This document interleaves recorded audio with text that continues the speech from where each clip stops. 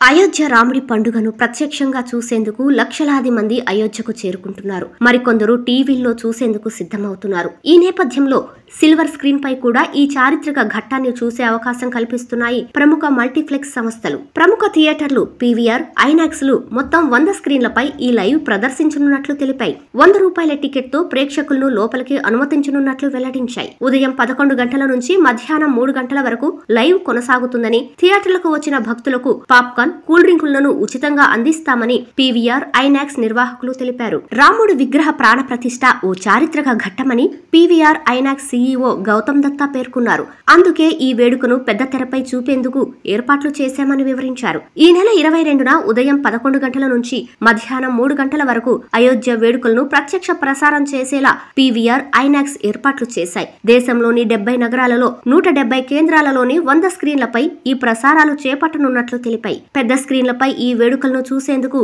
ఆయా మల్టీప్లెక్స్ల అధికారిక వెబ్సైట్లలో బుక్ మై షో ద్వారా టికెట్లను బుక్ చేసుకోవచ్చు.